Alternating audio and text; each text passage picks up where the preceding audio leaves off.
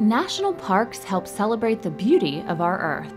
And whether you travel to them on Earth Day, during National Park Week when admission is free, or on your own special getaway, you're sure to enjoy some of America's finest natural spaces.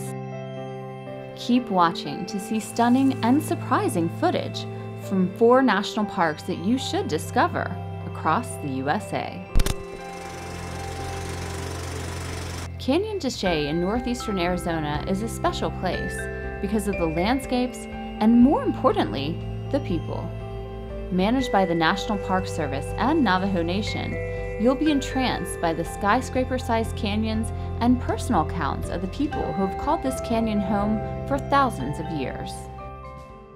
If you want to travel to a remote national park with amazing beaches, check out Cumberland Island off the coast of southern Georgia.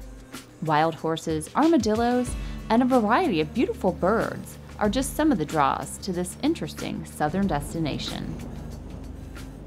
Often overlooked for Bryce and Zion, Capitol Reef National Park in southern Utah is a great place to discover dramatic geology and history, much of which is unreachable by modern roads.